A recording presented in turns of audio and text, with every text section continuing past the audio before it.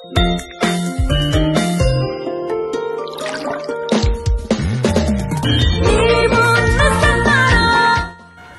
sarsaparilla merupakan minuman ringan yang berbahan tumbuhan semilak ornata, namun terkadang dibuat juga dengan perisa buatan. Saat ini, sarsaparilla diproduksi oleh perusahaan Limun Kok Brand. Di kalangan masyarakat Jogja, limun ini dikenal dengan nama saparilla. Muncul di tahun 1920-an, sarsaparilla dikenal dengan warnanya yang coklat kehitaman dengan rasa yang segar. Salam budaya menyatukan bangsa.